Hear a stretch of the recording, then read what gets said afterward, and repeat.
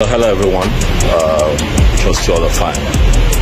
Okay, so um, I'm going to be taking you guys through this uh, experience, uh, the Ehizoya experience.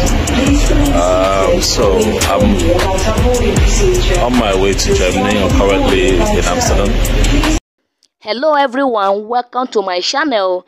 Today I have something special for you as we join the renowned Nollywood actor Frederick Leonard on a lifetime to the beautiful country of Germany.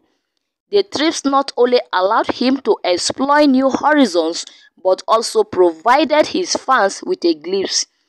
The actor travels took him to some of Germany's most iconic cities.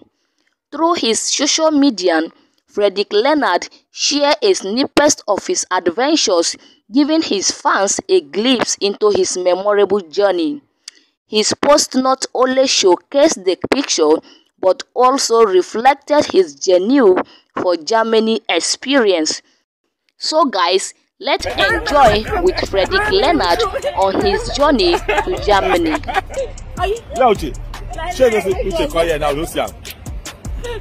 Now, don't am.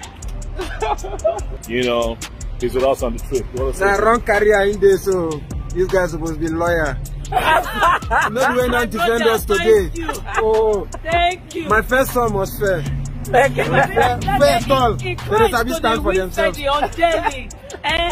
A client go dey win on jelly. the client go win It's the defender of the universe. The, guy dey give me joy.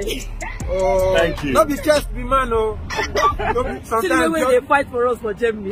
see see eh sometimes eh If I get her like that brother, I go no no if i get am like we don get am now so Thank you. anybody wey dey other countries wey wan misbehave misbehave we are coming Abi? we are coming with our lawyer.